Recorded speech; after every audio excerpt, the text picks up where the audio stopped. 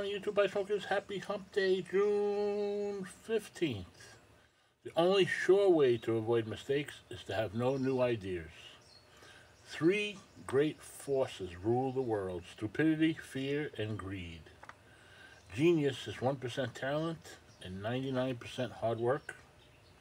You'll never fail until you stop trying. If you always do what you always done, you'll always get what you always got. Thank you. Be well, stay safe, and I'll catch you on the next one.